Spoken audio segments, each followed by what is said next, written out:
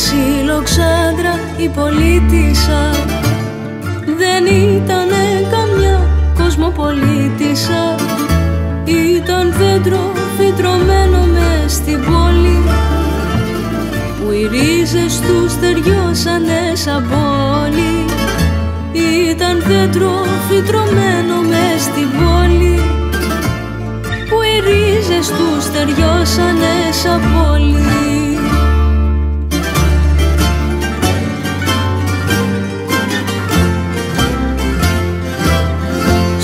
χαμηλό της στον οντά κάθε πρωί.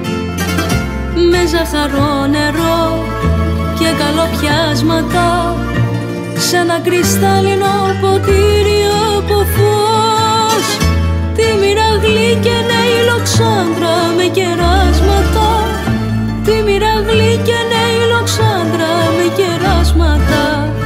Στο χαμηλό της στον οντά κάθε πρωί. με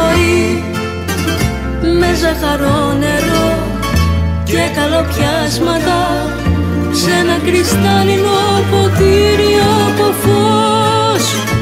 Τη μοιραγλή και νέη λοξάνδρα με κεράσματα. Τη μοιραγλή και νέη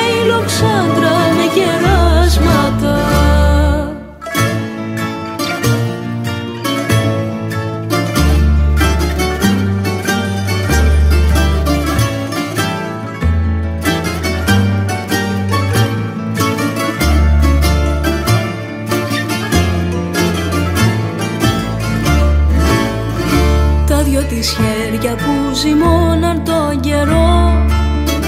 Μοσχοβολούσανε μαχλέπι και λιβάνι. Στην αγκαλιά της ξεχειμώνιαζε ο Θεός. Αναπαυμένος στο γαλάζιο της φουστάνι. Στην αγκαλιά της ξεχειμώνιαζε